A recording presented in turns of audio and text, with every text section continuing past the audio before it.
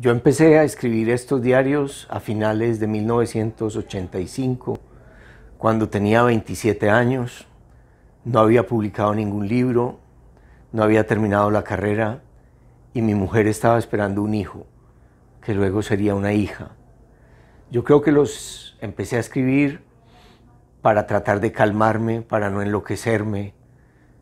para vaciar ahí toda mi angustia y toda mi insatisfacción y todas mis todos mis fracasos. Eh, luego el proceso de publicarlos es distinto, porque yo los diarios los había escrito para mí, solo para mí, tal vez para el de lector joven para el lector viejo. Me parecía que los diarios podían ser una distracción, un juguete para, para el viejo que podía leer lo que el joven pensaba. Pero a raíz también de otro fracaso que tuve con una novela,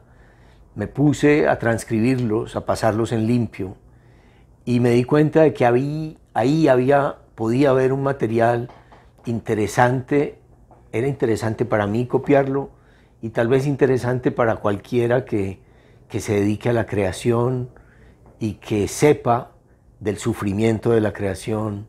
de lo duros que son los posibles rechazos de las editoriales, los rechazos de ti mismo,